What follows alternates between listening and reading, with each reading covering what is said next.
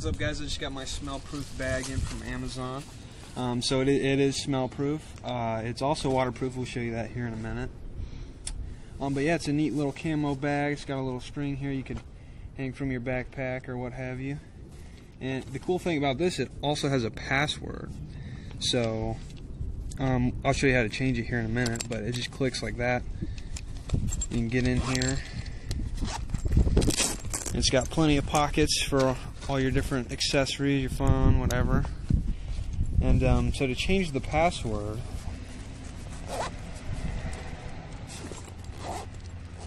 close it here.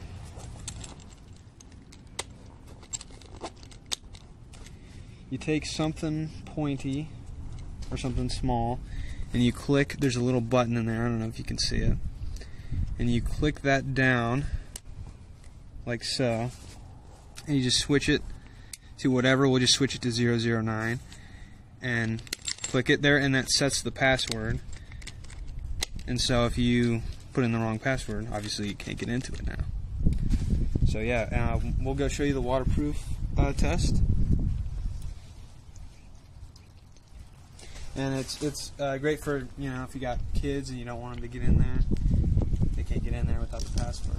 So uh, if you enjoyed this, please leave a review. So as you can see, it is waterproof. Stick it under there.